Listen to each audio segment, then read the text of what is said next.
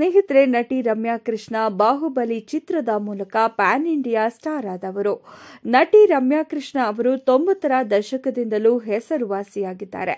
ನಟನೆಯ ಜೊತೆಗೆ ತನ್ನ ವೈಯಕ್ತಿಕ ಜೀವನದಿಂದಲೂ ಸಹ ಸಾಕಷ್ಟು ಚರ್ಚೆಯಲ್ಲಿ ಇದ್ದಾರೆ. ಅವರ ಮತ್ತು ನಿರ್ದೇಶಕ ಕೆಎಸ್ ರವಿಕುಮಾರ್ ಅವರ ನಡುವಿನ ಅಫೇರ್ ಮತ್ತು ವಿವಾದ ಗುಟ್ಟಾಗಿ ಉಳಿದಿಲ್ಲ. ಮೂರು ದಶಕಗಳಿಂದ ಚಿತ್ರರಂಗವನ್ನು ಆಳುತ್ತಿರುವ ರಮ್ಯಾ ಕೃಷ್ಣ ಹಲವು ಸಿನಿಮಾಗಳಲ್ಲಿ ಕೆಲಸ ಮಾಡಿದ್ದಾರೆ. ರಮ್ಯಾ ಕೃಷ್ಣ ಅವರು ಮತ್ತು ಕೆಎಸ್ ರವಿಕುಮಾರ್ ನಡುವಿನ ಅಫೇರ್ ಮತ್ತು ವಿವಾದದ ಬಗ್ಗೆ ಬಹಳಷ್ಟು ಸುದ್ದಿಯಾಗಿದೆ. ಅವರ ಸಂಬಂಧ ದೊಡ್ಡ ವಿವಾದಗಳಲ್ಲಿ ಒಂದಾಗಿದೆ.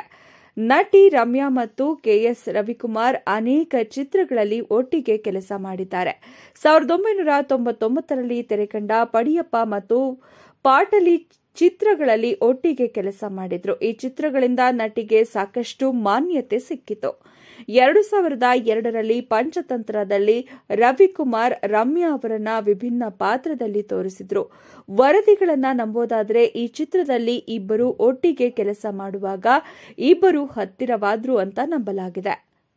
ಇಬ್ಬರು ಪರಸ್ಪರ ಸಂಬಂಧವನ್ನ ಹೊಂದಿದ್ರು. ಅವರು ಡೇಟಿಂಗ್ ಮಾಡಲು ಪ್ರಾರಂಭಿಸಿದ್ರು. ನಿರ್ದೇಶಕ ರವಿಕುಮಾರ್ ಅವರಿಗೆ ಅದಾಗಲೇ ಮದುವೆಯಾಗಿತ್ತು.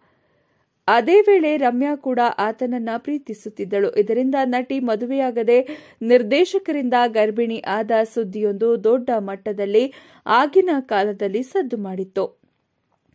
ಕೆಎಸ್ ರವಿಕುಮಾರ್ ಪತ್ನಿಗೆ ತನ್ನ ಪತಿ ಮತ್ತು ರಮ್ಯಾ ಸಂಬಂಧದ ಬಗ್ಗೆ ತಿಳಿದಾಗ ಅವರು ನಟಿಗೆ ಬೆದರಿಕೆ ಹಾಕಿದ್ರಂತೆ. ಈ ವೇಳೆ ಇಬ್ಬರ ಸಂಬಂಧದ ಜೊತೆಗೆ ನಟಿಯ ಪ್ರೆಗ್ನೆನ್ಸಿಯ ಸುದ್ದಿ ಕೂಡ ಹರಿದಾಡಿತ್ತು. ರವಿಕುಮಾರ್ ಹಾಗೂ ಅವರ ಹೆಂಡತಿಯ ಸಂಬಂಧವೂ ಕೂಡ ಅದಗಿಡಲು ಪ್ರಾರಂಭಿಸಿತು. ಇದಾದ ಬಳಿಕ ನಿರ್ದೇಶಕ ರವಿಕುಮಾರ್ ಈ ಆರೋಪ ಮತ್ತು ಸಂಬಂಧವನ್ನ ಕೊನೆಗೊಳಿಸಲು ನಿರ್ಧರಿಸಿದ್ರು. ಇನ್ನು ವರದಿಗಳನ್ನ ನಂಬೋದಾದ್ರೆ ನಟಿ ಗರ್ಭಪಾತಕ್ಕೆ ಎಪ್ಪತ್ತೈದು ಲಕ್ಷ ರೂಪಾಯಿಯನ್ನ ಕೇಳಿದ್ರು. ಆ ಸಮಯದಲ್ಲಿ ಇಬ್ಬರು ಆ ಮಗುವಿಗೆ ಸಿದ್ಧರಿರಲಿಲ್ಲ ಎಂದು ಮಾಧ್ಯಮಗಳಲ್ಲಿ ವರದಿ ಆಗಿತ್ತು. ಇದಾದ ನಂತರ ನಟಿ ಗರ್ಭಪಾತ ಮಾಡಲು ನಿರ್ಧರಿಸಿದ್ರು. ಆದರೆ ನಂತರ ರಮ್ಯಾ ಮತ್ತು ರವಿಕುಮಾರ್ ಅವರ ಸಂಬಂಧ ಗರ್ಭಧಾರಣೆ ಮತ್ತು ಗರ್ಭಪಾತದ ಬಗ್ಗೆ ಮಾಧ್ಯಮಗಳು ಪ್ರಶ್ನಿಸಿದಾಗ ಅವರು ಈ ವರದಿಯನ್ನ ನಿರಾಕರಿಸಿದ್ರು. ಇದಾದ ನಂತರ ರಮ್ಯಾ ಕೃಷ್ಣನ್ ಅವರು ಎರಡು ಸಾವಿರದ ಮೂರರಲ್ಲಿ ತೆಲುಗಿನ ನಿರ್ದೇಶಕ ಕೃಷ್ಣ ವಂಶಿಯವರನ್ನ ಮದುವೆಯಾದರು. ಮದುವೆಯಾದ ಕೆಲವೇ ದಿನಗಳಲ್ಲಿ ರಮ್ಯಾ ಒಬ್ಬ ಗಂಡು ಮಗುವಿಗೆ ಜನ್ಮವನ್ನ ನೀಡಿದ್ರು.